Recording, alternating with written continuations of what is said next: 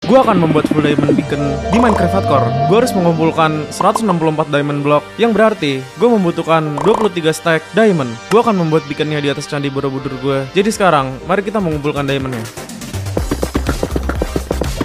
Mining diamond di dalam gua sejauh ini merupakan metode termudah untuk mendapatkan diamond. Dan setelah 2 jam mining, inilah yang gue dapat. Crafting jadi diamond block dan tinggal kita pasang aja.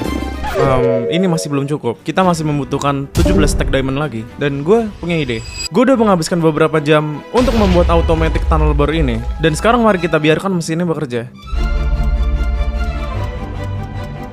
Gue udah selesai ngumpulin semua diamond yang kita butuhkan. Crafting semuanya jadi diamond block. Masih ada satu item lagi yang kita butuhin. Oke, ambil dari monos gue aja. Dan akhirnya full diamond beaconnya pun udah jadi. Jangan lupa subscribe.